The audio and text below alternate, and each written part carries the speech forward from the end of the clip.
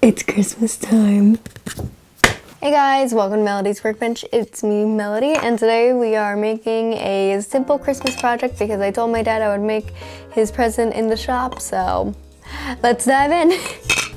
Today we are making a Christmas present for my father. It is quick because I have delayed too long to make the big one that I had planned on, so I'm making a simple coffee coaster for him.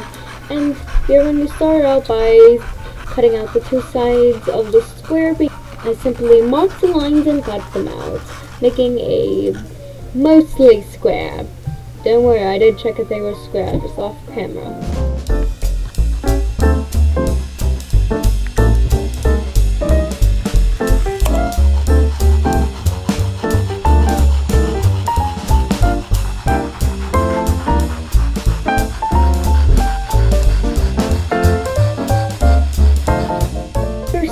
Simple cutting, we are going to chamfer one side because this is a coaster and not an ornament. So we need to have one side flat so that it can sit perfectly fine on the table.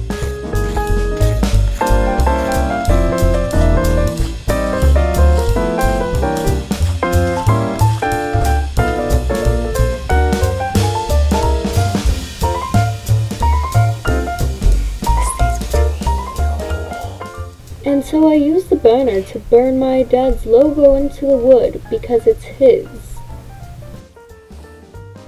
I'm going to smooth out the coaster so that cup can fit on it just fine.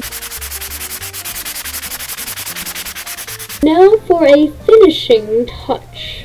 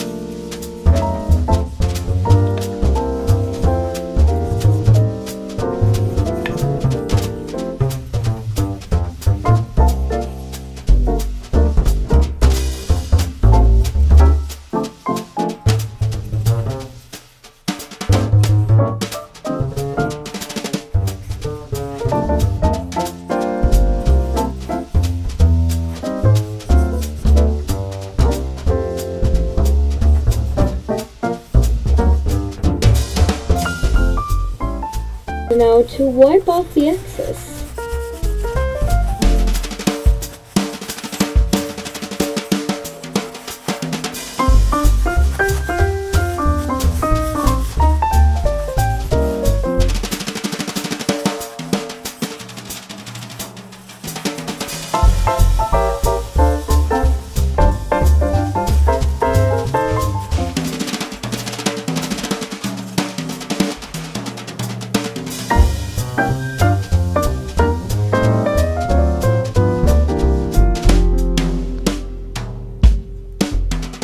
Thank you guys so much for watching. This was a uh, last minute idea for my dad.